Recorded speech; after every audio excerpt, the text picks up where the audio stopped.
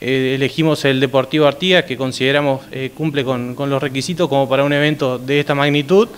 Y bueno, eh, nos estamos preparando para recibir a las autoridades como el senador Guido Manini Ríos, la ministra Irene Moreira, los diputados y bueno, esperemos que salga todo bien y sea una fiesta. Comparativamente con el encuentro anterior, ¿qué cantidad de personas estarán participando aproximadamente?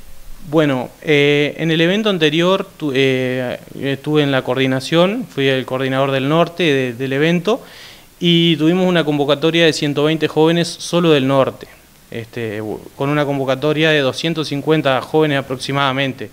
Esperemos para este encuentro tener más o menos la misma convocatoria, aunque siempre aspiramos a un poco más, por supuesto. ¿Qué temas traen sobre la mesa, Jesús?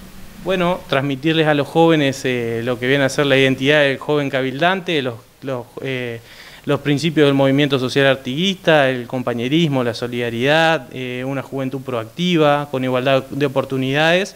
Y bueno, trabajamos fuertemente para que así sea y, seguramente impartiremos talleres en base a lo que te comento. ¿Será todo el día en esa jornada?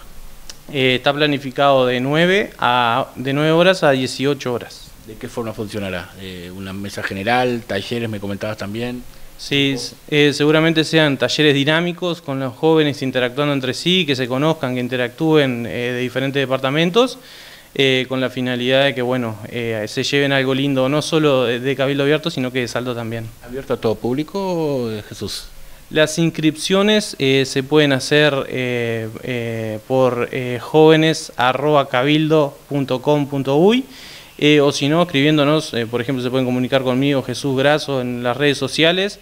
Este, tienen un plazo máximo hasta el 24 de, febrero para poder inscribirse. Bueno, recordame entonces, ¿dónde y cuándo? En el Deportivo Artigas el sábado 4 de marzo y se pueden comunicar conmigo a través de las redes sociales o también por a nuestra agrupación Abriendo Caminos en Instagram y Facebook.